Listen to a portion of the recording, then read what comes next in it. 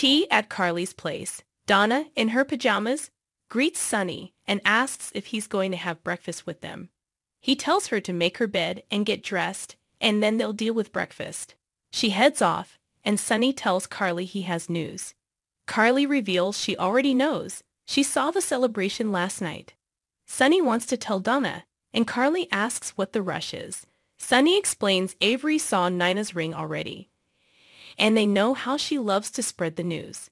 Sonny catches Carly refolding towels as he talks to her and asks what is going on. She says Diane was just here discussing the SEC case with her, and it's looking like an uphill battle.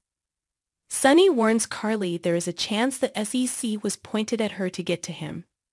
Sonny says the SEC only came after her once he started working with some new people.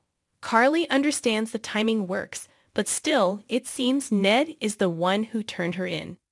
She also tells him Diane got a tip the feds are interested in him, and Diane suggested she should turn on him and cut a deal.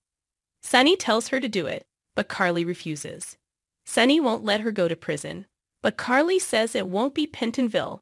It will be a minimum security place. Sonny fears she has no other option than to cut a deal and turn him in, and he'll be fine as he has Diane to figure things out. Carly says there is another option. She could turn on Drew. Carly says Drew is also a big get being a CEO and a Quartermaine, but she won't let him pay for her mistakes either. Carly reveals Drew has a plan, but it's a long shot. Before she tells him any more, Donna returns for breakfast. Carly says first, she and her daddy have to talk to her about some changes coming. Alvin expresses concern that Nina is blowing up her life for revenge. Nana says this isn't about revenge. It's about forging a relationship with her daughter. Nina comes up with a plan to put doubt in Drew's head about Carly, and for him to think Carly is cutting a deal to turn on him. She needs to find someone Drew trusts to give him this information, and she thinks she knows just the person. At home, TJ leaves another message for Molly. Stella drops by unannounced, and TJ thinks she's exactly who he needs now. She can see something is weighing on him. TJ tells her that he and Molly want to have a baby, but medical challenges mean it might not happen. Stella can see he's heartbroken and is certain Molly is too. Stella says, while this is happening to both of them, this is likely agony for Molly.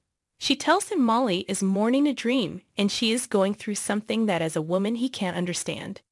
She advises all he can do is be there for her and love her. TJ asks Stella what brings her back to town. Stella read about what happened on the ship and knew she had to come home. She asks if it has brought anyone any closer. TJ says Trina and Curtis are fine, but Curtis and Portia are another story. He relays Curtis still hasn't moved home. Stella asks if Curtis was angry with Jordan for not telling him about Trina. TJ says he understood it wasn't Jordan's secret to tell. Stella decides to take off, TJ says he's so glad she's home. He bold. And the